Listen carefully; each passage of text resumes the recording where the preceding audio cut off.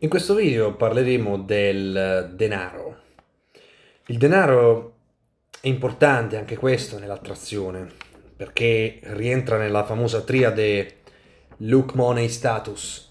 Quindi il denaro è uno dei tre capisaldi, diciamo, dell'attrazione dal punto di vista evoluzionistico, perché nell'attrazione contano appunto lo stato estetico, il look, i soldi, quindi monies, e poi lo status sociale, appunto. E eh, d'altronde attualmente è il denaro che eh, influisce nel determinare l'attrazione.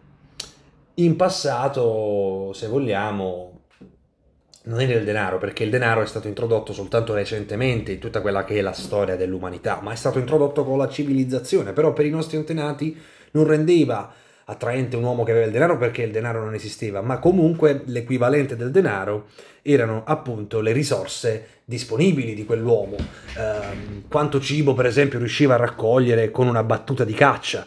E questo era per i cacciatori raccoglitori, quindi per i nostri antenati, diciamo, mh, mm, il denaro, le risorse, appunto. Questo si intende, se vogliamo.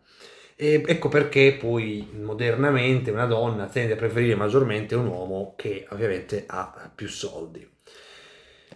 Se il video ti è piaciuto lascia un mi piace e iscriviti al canale.